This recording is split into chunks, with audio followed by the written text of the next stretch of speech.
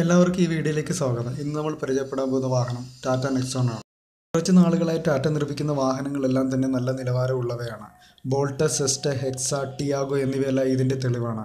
ഇപ്പോൾ നാം കാണുന്ന നെക്സോണും ഇവയിൽപ്പെടുന്നു. ഒരു റെയറായ ഡിസൈനാണ് ഈ വാഹനത്തിനുള്ളത്. കൂടാതെ തന്നെ മുൻവശത്ത് നിന്ന് നോക്കുകയാണെങ്കിൽ ടാറ്റയുടെ പരമ്പരാഗതമായ ശൈലിയിലുള്ള ഒരു ഗ്രില്ല് തന്നെയാണ് ഈ വാഹനത്തിലും ഉൾപ്പെടുത്തിയിരിക്കുന്നത്. ഗോൾഡായ ഒരു ഹെഡ് ലാമ്പും കറുത്ത ഗ്രില്ലിൽ ടാറ്റയുടെ ഒരു ലോഗോയും ഘടിപ്പിച്ചിരിക്കുന്നു. പ്രൊജക്റ്റഡ് ഹെഡ് ലാമ്പിൽ ഒരു ഡേ ടൈം റണ്ണിംഗ് ലാമ്പും ഗ്രില്ലിന് താഴെ ക്രോമിയം സ്ട്രിപ്പും കൊടുത്തിരിക്കുന്നു. പിന്നെ ബമ്പറിൽ ഗാർണിഷ് ചെയ്ത രീതിയിലുള്ള സെറാമിക് വലയത്തിൽ ഫോഗ് ലാമ്പ് ഘടിപ്പിച്ചിരിക്കുന്നു. മുൻവശങ്ങളിൽ മനോഹാരിത കൂട്ടുന്ന വിധത്തിൽ ബമ്പറിന് തൊട്ടുതാഴെ ബ്ലാക്ക് ഫിനിഷോട് കൂടിയ ഒരു എയർ ഡാമും ഈ വാഹനത്തിനുണ്ട്. സൈഡ് പ്രൊഫൈലാണ് ഈ പുതിയ ഡിസൈന്റെ എല്ലാ മികവും കാണാൻ കഴിയുന്നത്. പിന്നെ എടുത്തു പറയേണ്ടത് വിൻഡോ ലൈന് താഴെയായി ഒരു സെറാമിക് ലൈൻ കൊടുത്തിരിക്കുന്നു. ലോകത്തിൽ ആദ്യമായി സെറാമിക് ഘടകങ്ങൾ വാഹനത്തിൽ അവതരിപ്പിച്ചത് ടാറ്റ മോട്ടോഴ്സാണ് റൂഫിന് ഡുവൽ ടോൺ കളർ കൊടുത്തിരിക്കുന്നത് ഇത് ടോപ്പ് ആൻഡ് വേരിയന്റിൽ മാത്രമാണ് ലഭ്യമാകുന്നത്. പിന്നെ സ്പോർട്ടിയായ ഒരു റൂഫ് റെയിൽ ഈ വാഹനത്തിൽ നൽകിയിരിക്കുന്നു. പതിനാറിഞ്ച് അലോയ് വീലുകൾ കൂടാതെ തന്നെ ഇരുന്നൂറ്റി ഒൻപത് എം എം ഗ്രൗണ്ട് ക്ലിയറൻസും ഈ വാഹനത്തിന് നൽകിയിട്ടുണ്ട്. അങ്ങനെ ഒരു കോമ്പാറ്റ് എസ് വിക്ക് വേണ്ട എല്ലാ ഘടകങ്ങളും ടാറ്റ നെക്സോൺ ഉൾപ്പെടുത്തിയിട്ടുണ്ട്. അതുകൊണ്ട് തന്നെ ഈ സെഗ്മെന്റിലുള്ള എല്ലാ വാഹനങ്ങളോടും മത്സരിക്കുവാൻ തയ്യാറെടുക്കുകയാണ്. ഈ വാഹനത്തിന്റെ ബൂട്ട് സ്പേസ് ത്രീ ഫിഫ്റ്റി ആണ്. അതുകൊണ്ട് തന്നെ അത്യാവശ്യം നല്ല രീതിയിലുള്ള സ്ഥല സൗകര്യമുണ്ട്. ഈ വാഹനത്തിന് ഇന്റീരിയർ ഏറ്റവും മികച്ച രീതിയിൽ തന്നെയാണ് ടാറ്റ ഡിസൈൻ ചെയ്തിരിക്കുന്നത്. ബ്ലാക്കും ആഷ് കളറോടും കൂടിയ ഒരു ഡാഷ് ബോർഡാണ് ഈ വാഹനത്തിനുള്ളത്.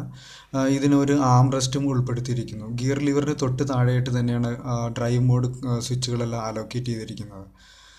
എല്ലാ സാങ്കേതിക വിദ്യകളോടും കൂടിയ ഒരു ഇൻഫോർടൈൻമെന്റ് സിസ്റ്റമാണ് ഈ വാഹനത്തിന് ഉള്ളത്. കൂടാതെ തന്നെ നമുക്ക് എടുത്തു പറയേണ്ട മറ്റൊരു കാര്യം എന്ന് വെച്ച് കഴിഞ്ഞാൽ ഈ വാഹനത്തിന്റെ കൂൾഡായിട്ടുള്ള ഗ്ലോ ബോക്സ് ആണ്. ഇതിൽ നമുക്ക് ദീർഘദൂര യാത്രകൾക്ക് പോകുമ്പോൾ അത്യാവശ്യമായ സോഫ്റ്റ് ഡ്രിങ്കുകളും മറ്റും സൂക്ഷിക്കാവുന്ന രീതിയിലാണ് ഈ ഗ്ലോ ബോക്സ് ഡിസൈൻ ചെയ്തിരിക്കുന്നത്.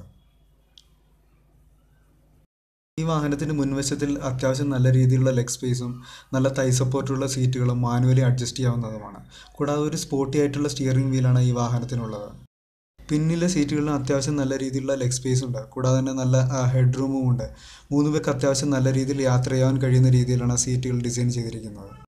പിന്നിലെ സീറ്റിൽ രണ്ടുപേര് മാത്രമേ ഇരിക്കുന്നുള്ളെങ്കിൽ ഒരു ആംറസ്റ്റ് നമുക്ക് ഉപയോഗിക്കാവുന്നതാണ്. കൂടാതെ തന്നെ പിന്നിലേക്ക് ഒരു എ സി വെന്റും ഈ വാഹനത്തിന് നൽകിയിട്ടുണ്ട്.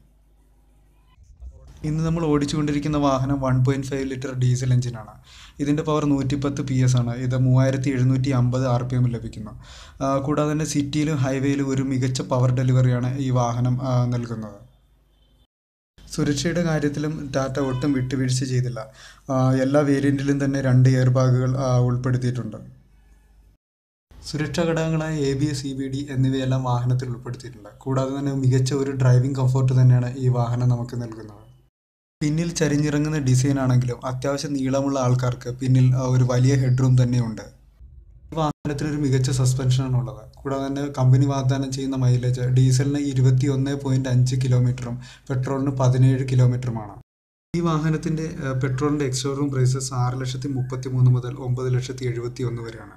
ഡീസലിനാകട്ടെ ഏഴ് ലക്ഷത്തി മുപ്പത്തി ആറ് മുതൽ പത്ത് ലക്ഷത്തി അറുപത്തി എട്ടാണ്